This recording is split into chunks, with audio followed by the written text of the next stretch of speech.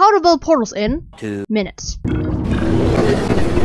Step 1. Rendering. Before we can make our player teleport through the portal, we need to render what the other portal is seeing. We can do this by creating a plane from material that has an albedo for camera B, which we can create via a render texture of camera B. Don't forget that for each camera, we need a screen cutout shader so the camera will render right things. Now that we have a plane viewing the other side of the other portal via a render texture viewing the other camera, rendering is done- ah, frick.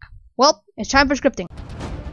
First things first, we need the camera to move relative to the player but offset by the distance between the player and the portal it is assigned to. Basically, when the player moves, the camera moves with it. However, if the player rotates their head, the camera won't follow. By using quaternions and vectors, we can let the camera rotate with the player. Our portal's almost there, but something is off about it. The problem is that the render texture is not the same size as the game screen. We can set this up pretty easily through the code by setting the target texture of camera B as the width, height, and depth of the render texture.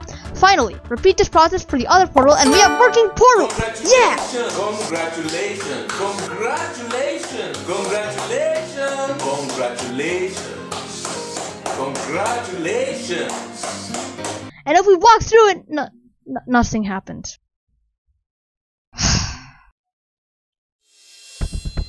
Step 2.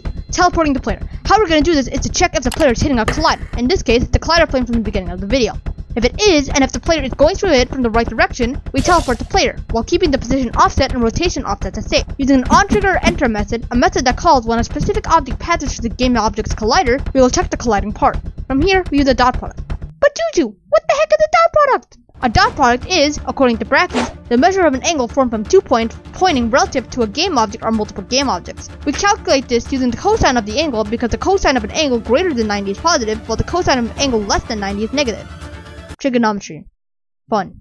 Using this, we can check if the dot product between the portal and the player is greater than zero. If the player is going through the portal from the right direction, all we need to do is teleport the player. By using quaternions and vectors, we can move and rotate the player accordingly based on where he was in the portal. Fill in the public variables and now, ladies and gentlemen, the moment you've been waiting for, portals.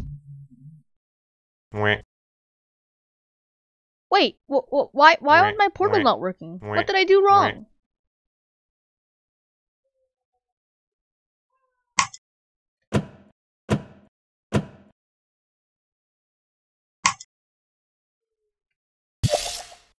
Really? That was it? It took me three and a half hours to find that out?